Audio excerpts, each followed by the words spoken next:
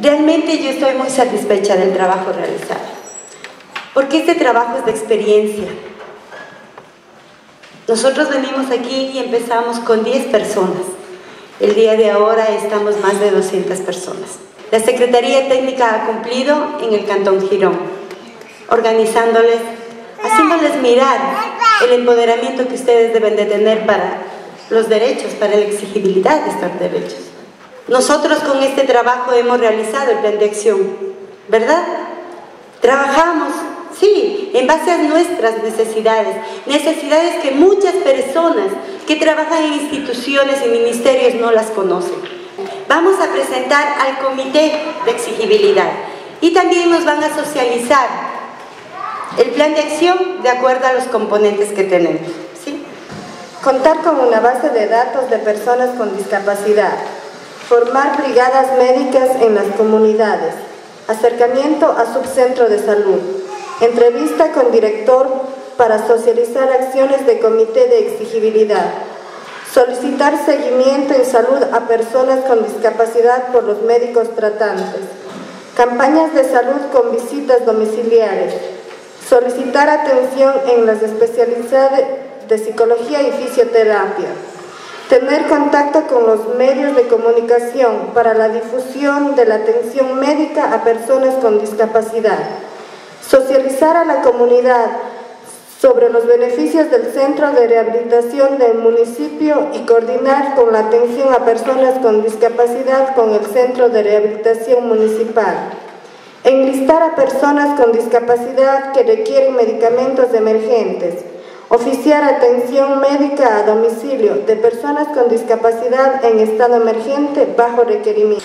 Capacitar a la comunidad educativa en lengua de señas, tipo de discapacidad y el trabajo con la misma. Coordinar con el Distrito de Educación para la cobertura y matrículas de personas con discapacidad.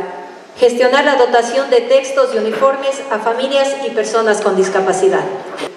Capacitación en convenio con instituciones públicas y privadas en actividades ocupacionales. Incluir en programas de capacitación para el desarrollo de habilidades en áreas específicas de interés de las personas con discapacidad en carpintería, agricultura, cocina, técnicas y nuevas, nuevas de artesanía. Contar con una base de datos de interés con el desarrollo de habilidades y que ejerzan una actividad laboral realizar un listado de interés para el créditos enfocados en el microemprendimiento, en agricultura, ganadería, etc. Formar la pre-asociación de personas con discapacidad en el cantón. Incluir el comité de, de elaboración de presupuestos participativos para el alcantarillado, alumbrado público, terminación de, de veredas, solicitar medidas de acciones afirmativas, bonos de subsidios y viviendas, adquirir información adecuada y oportuna de servicios, oportunidades para personas con discapacidad, eliminar las barreras e equitación arquitectónicas para accesos a servicios en edificaciones del cantón. Incluir a las personas con discapacidad, en especial en la sociedad cultural de la comunidad. Coordinar con a los señores conductores sobre el buen trato y relaciones humanas.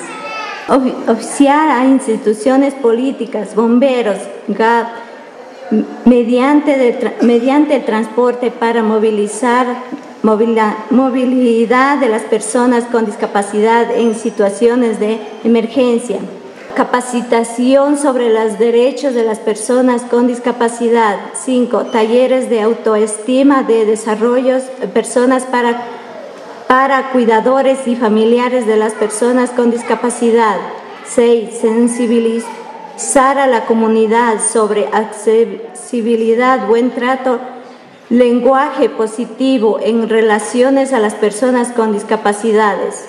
Y siete, viabilizar trámites, escritura y asesoría. Por favor, le ruego a todas las autoridades que este compromiso que no se olvide.